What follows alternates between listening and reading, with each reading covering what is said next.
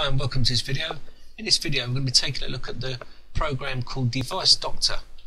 Now it's a freeware program and you can get it from devicedoctor.com okay and uh, it's supposed to scan your system for device drivers that may need to be updated and it says it can it can scan for unidentified devices and find the drivers for those in Device Manager as well.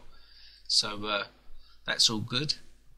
It's only a 4.6 megabytes in size. It works with uh, Windows XP, Windows Vista and Windows 7, 64-bit and 32-bit operating systems. They've got a large database of drivers apparently on their server. So uh, let's uh, install it and give it a go. Now I've not had a chance to use this app yet, but I know there is a lot of uh, programs on the market at the moment doing this sort of thing. They've been around for a long time, and some of them you have to pay for. So being free, it's always good to have a, a free freeware option. So this is where you need to download it. Okay, and then you just need to save it to your desktop. I've already downloaded it already. Now you can also download it from SoftPedia if you want to. And they're claiming it's 100% adware free and virus free, which it is because I've scanned it and uh, I don't think it's uh, been out too long. I think it's quite a new new program, so um, we'll give it a bit of time to see how they fare in the future. But I mean, they've also got a forum, which is always handy. That means any questions you got, you can come straight to them rather than ask me, which is pretty handy. And uh, let's just see whether it does printer drivers and stuff. Um, it doesn't.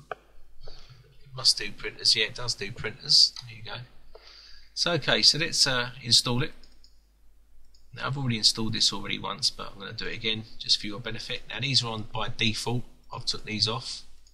Go next, and that's it. It's pretty uh, plain looking. It's just got a big bar, pro, uh, pro, progress bar there, and a begin scan button. That's it. But as long as it works, that's all that matters. Now let's right click on my computer and go properties and uh, just want to have a look at hardware and device manager. Now I have got a device in here that's it's a Samsung color laser printer 300 and I just want to see if it finds this driver.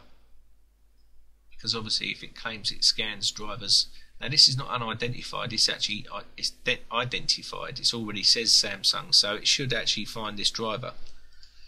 So let's give it a scan Now, obviously, because it's freeware as well, um, I mean, if they've got loads of drivers there, I mean, that's quite a new printer, so it should actually find it. And it's uh, found my graphics card there, which is uh, now it's already got a driver on it, but it may be an updated version. And it also says something about if you've already installed no previously updated chipset drivers may continue to appear in the results.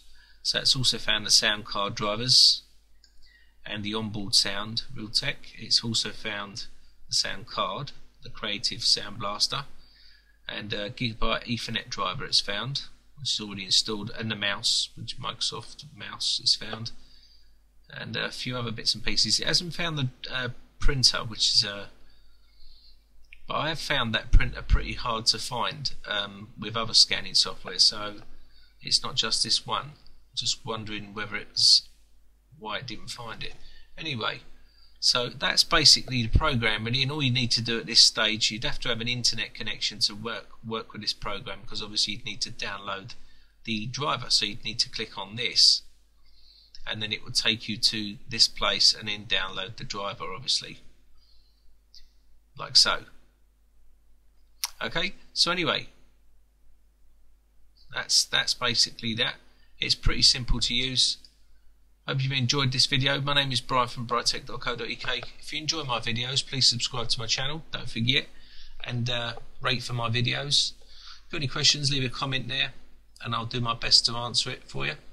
Any requests for videos that you'd like me to see me make, then uh, send me a message with what video you'd like me to make and I'll do my best to make it as long as it's computer related. Okay, thanks very much again for watching. Thanks a lot for your support guys.